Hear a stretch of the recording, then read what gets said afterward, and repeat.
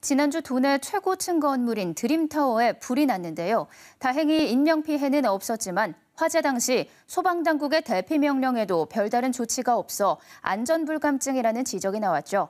KBS가 드림타워의 소방 정밀 점검 보고서를 입수해 살펴보니 문제가 한두 가지가 아니었습니다. 민소영 기자의 단독 보도입니다. 높이 169m 드림타워가 검은 연기에 휩싸였습니다. 화재 당시 소방당국은 현장 도착 즉시 대피 방송을 하라고 통보했지만 드림타워의 안내 방송은 상황이 종료된 뒤에야 이루어졌습니다. 이런 가운데 KBS가 드림타워의 소방 정밀 점검 보고서를 단독 입수해 살펴보니 적지 않은 지적 사항이 확인됐습니다. 관계 법령에 따라 지난해 말 드림타워 측이 제주 소방서에 제출한 소방 정밀 점검 보고서입니다. 세탁실에는 불을 끄는 스프링클러 일부가 아예 설치되지 않았고 고객들이 이용하는 라운지의 경우 방화 셔터 전원이 안 들어온 경우도 있었습니다.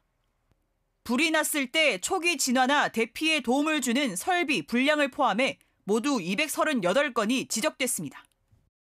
고층 건물은 자력 대피도 힘들어지고 외부 지원도 안 되니까 상당히 문제가 심각해지는 거죠.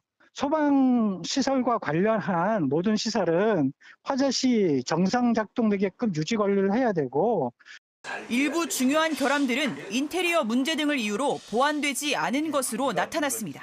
사람이 생명이 달린 이런 문제에 어, 이런 어떤 인테리어상의 문제라든지 또는 뭐 프로그램이 몇 개 안 돼서 그대로 그냥 저 개선 조치 명령이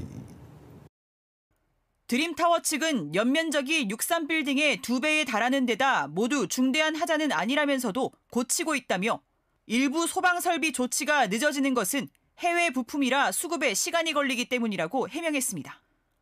재난 상황에 제대로 준비가 됐는지 드림타워 안전 상태를 꼼꼼히 따져봐야 한다는 지적이 나오고 있습니다. KBS 뉴스 민소영입니다.